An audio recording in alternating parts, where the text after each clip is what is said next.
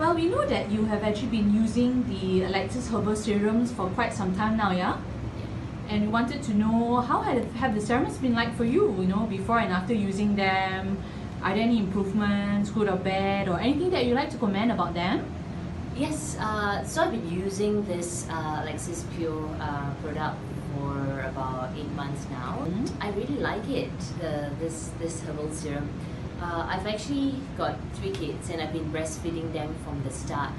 And so naturally, um, the, sometimes the, the breast will actually, um, or the nipples will crack and uh, feel a bit sore and the breast will actually start to sag. So, um, but since using this serum, I noticed that the cracks have completely gone and my breasts actually feel uh, firmer and rounder and more lifted.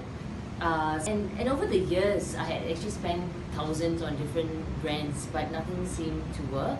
So, and then since using this product, the, the, the, the results has actually been quite obvious. Uh, and I've also been recommending this product uh, to some of my friends who have the same problem, and they all seem to say the same thing about. I actually strongly recommend this product uh, to anyone who you know has sagging boob problems or they just want a you know rounder, firmer, and more you know just feel more lifted.